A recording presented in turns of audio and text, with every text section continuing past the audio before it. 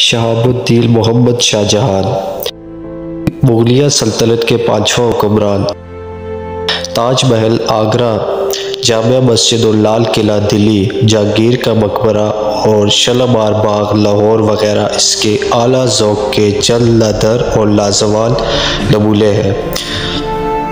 दिल्ली का मौजूदा शहर और एक लहर अरबी जमला भी इसके दौर की यादें हैं।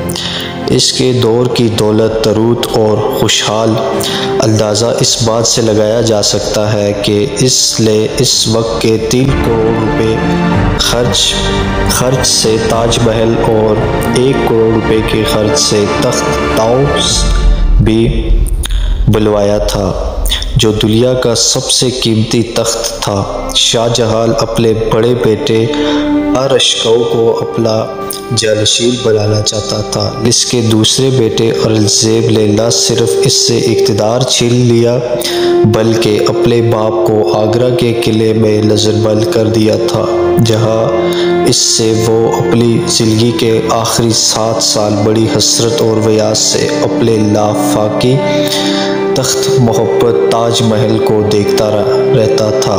इकतीस साल हुकूमत करने वाला शाहजहां ने चौहत्तर साल उम्र पाई थी और अपनी महबूब बीवी मुमताज़ महल, जो इसके चौदह बच्चों की माँ थी, उसके साथ ताजमहल आगरा में दफन हुआ था।